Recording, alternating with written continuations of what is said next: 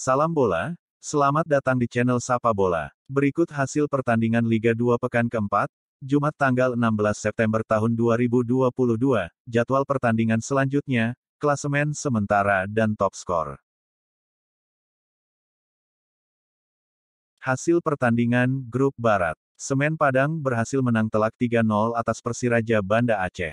Gol Semen Padang dicetak Rosat Setiawan menit 12 dan 67, Silvio Escobar Benitez menit 63 lewat titik putih. Dengan kemenangan ini, Semen Padang naik peringkat ketiga klasemen dengan 5 poin unggul selisih gol dari Sriwijaya.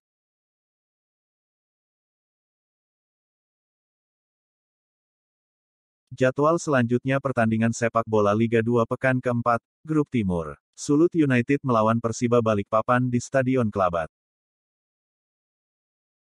Grup Tengah. Persekat Kabupaten Tegal melawan Nusantara United di Stadion Trisanja. Persela Lamongan melawan Gresik United di Stadion Surajaya.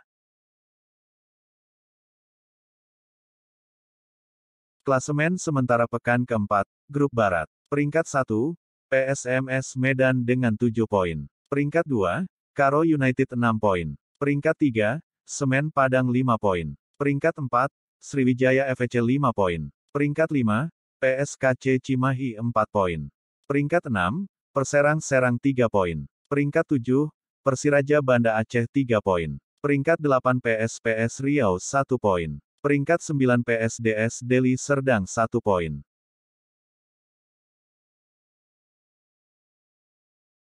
Top skor sepak bola Liga 2 Indonesia. Zulham Zamrun dari Persela 3 gol. Inyoman Sukarja dari PSKC Cimahi 3 gol. Rizky Novriansyah dari Persipa Pati 3 gol. Indra Setiawan dari Putra Delta Sidoarjo 3 gol. Rosat Setiawan dari Semen Padang 3 gol. Silvio Escobar Benitez dari Semen Padang 3 gol. Gunansar Mandowen dari Persipura Jayapura 2 gol. Eeng Supriyadi dari PSCS Cilacap 2 gol. Malik Praitno dari Persikap Kabupaten Bandung 2 gol. Itu tadi hasil pertandingan sepak bola Liga 2, pekan keempat, jadwal selanjutnya, klasemen sementara dan top skor. Jangan lupa subscribe channel ini, untuk mendapatkan perkembangan Liga 2.